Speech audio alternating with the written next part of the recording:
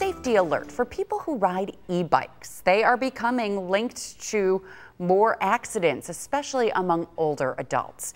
And Daybreak's Alexander Rios Malvia has more on how to keep you safe on our streets. It looks like any other bike. I just love them. And that's kind of the point. You can go further, faster. You pedal like a regular bike, but for Kenny Generals and other e-bike riders, it gives you an extra boost. It's hard to explain, but it helps you in the wind especially. The worse the weather, the more it helps. Oh. Sue Williams of West Seneca also comes to Niawanda Park specifically to ride her e-bike. Peaceful, especially when there's a view and the boats. but also to avoid accidents.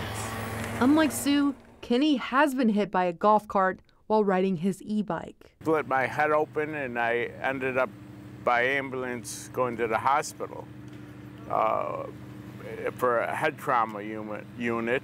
Kenny now takes more precautions while riding. Gotta watch, careful, everybody around you. Don't trust no one. ECMC's Vice President of Critical Care and Emergency Services, Dr. Meg Riley, says that's exactly why you should be careful. It isn't a regular bicycle. It's not the bicycles that we grew up utilizing when you know, we were teenagers and in our 20s. According to ECMC, there were 23 emergency department visits related to e-bikes last year. So far this year, that number has nearly doubled. It usually isn't the bike hitting a car or the bike hitting an animal, it's just the operator losing control of the bike. In some cases, riders aren't wearing helmets.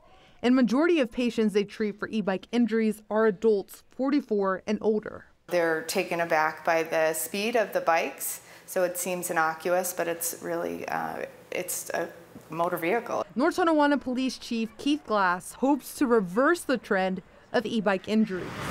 When you look and you see a bicycle coming at you, you expect a, a, a slower moving bicycle, and sometimes it's, it's an e-bike which can go up to 20 miles an hour and that can be confusing for, for drivers. E-bikes are regulated like bicycles and follow the same rules of the road. If they're out drinking at a bar, instead of driving, they're going to use their e-bike. You still have to follow the rules of the road.